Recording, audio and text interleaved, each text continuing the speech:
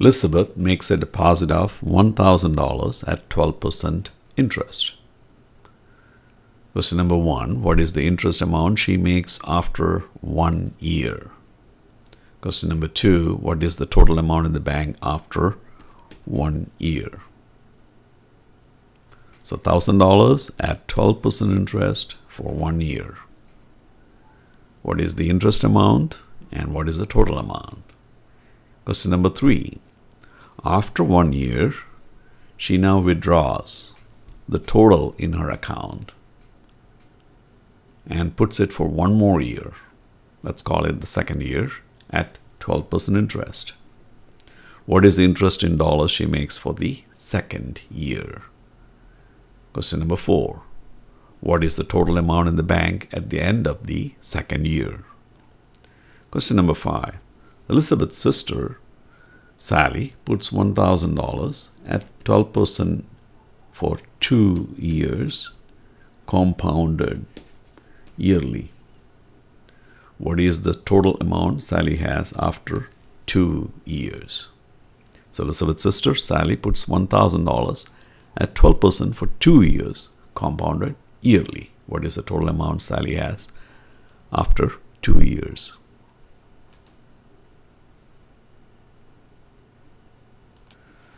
So Elizabeth makes a deposit of $1,000 at 12% interest. So what is the principal? Principal is 1000 at 12% interest. So what is the rate? Rate is 12% and we have to convert that to a decimal. So we divide it by 100 and so we get 0.12. What is the time? One year. So we have the principal, the rate as a decimal, and time. What is the time? Just one year. So substitute all those numbers that we know.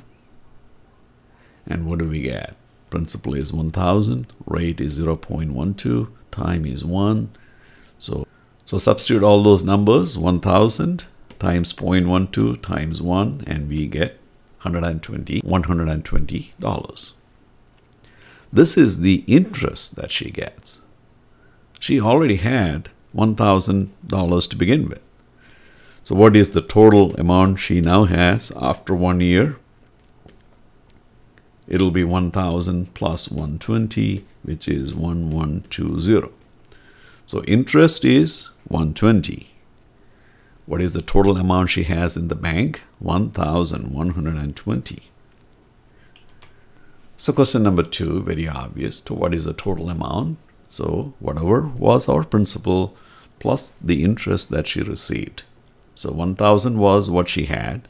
She received $120 as interest. So the total is 1,120. So question number two, Question number two, what is the total amount in the bank after one year? 1,120.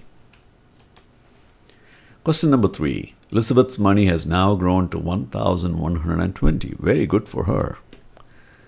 Well, now the question is this, she withdraws that money and puts it back into the bank at 12% interest for one more year.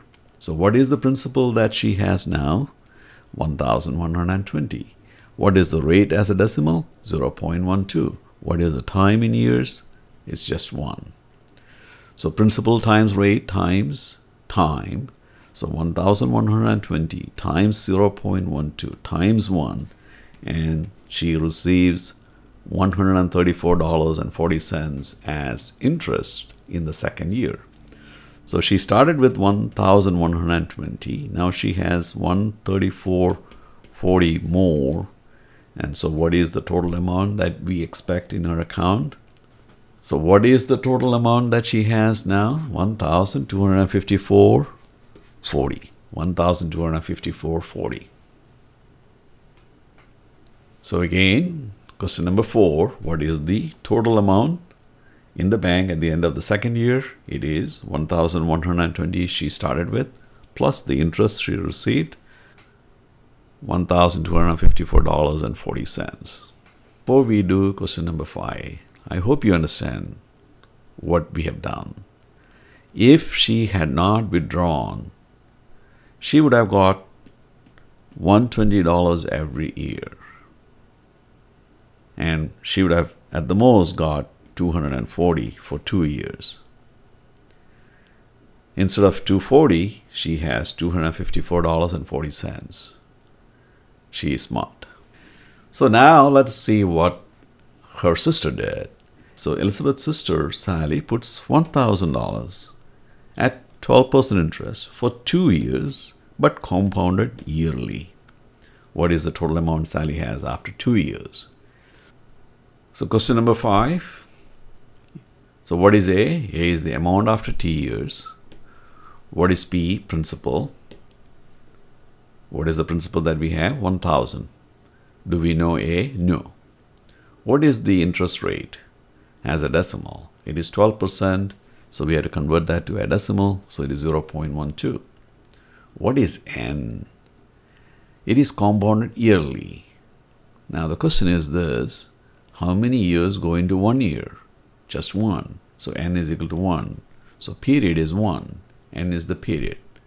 And what is the time in years? Time in years is 2 years. 2 years.